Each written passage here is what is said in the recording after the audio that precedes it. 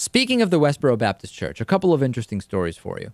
Lauren Drain, former member of the Westboro Baptist Church, is saying that Fred Phelps, the founder of the Westboro Baptist Church, may be gay.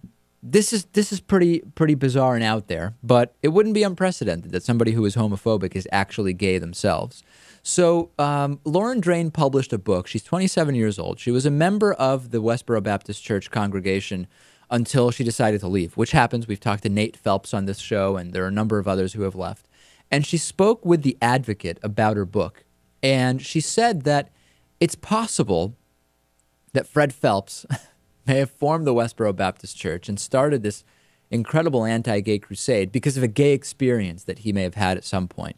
And she talks about how he was a Boy Scout who graduated with honors and he was headed for the military. But then at 17 years old, Fred Phelps changed his mind and suddenly he wanted to be a preacher to fight against sexual immorality. And here's what Lauren Drain said She said, I never understood why, when the media asks him, why are you so against homosexuals? Did you have a homosexual experience?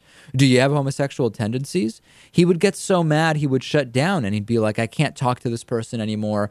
They're stupid. His reaction to that was stronger than any other question you can ask him. So I always wondered that. Why does he get so mad? If I'm not gay, I'll just say, I'm not gay. I'm not going to freak out. Why are you calling me gay? I, I thought it was super strange. I don't know what happened there. So speculation is all that I can leave it at, but something happened and something made him change his mind about the military and in turn have a crusade against homosexuals. I mean, Ted Haggard comes to mind.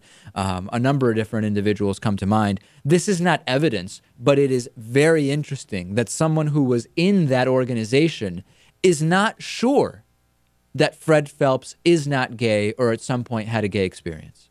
Right. I mean, we've talked about the uh, incredible, incredibly homophobic people who, who come out as gay. I mean, is it strange to think that the most homophobic man in the world might not uh, have some of those tendencies himself? Yeah, it wouldn't be surprising, but this this isn't really evidence. And I'm seeing on our stream that uh, uh, somebody is saying that uh, that Nate Phelps said he saw no evidence that Fred Phelps is gay. So there's it, it's it's just interesting that it's not off the table. Like someone who was in the organization questions that.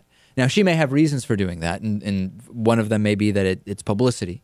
Uh, we know that the Westboro Baptist Church knows a thing or two about publicity, but uh, in, interesting nonetheless. Right. I mean, I don't see what the difficulty is in just saying I'm, I'm not, not gay. gay. Yeah, no, I'm just not gay. Yeah.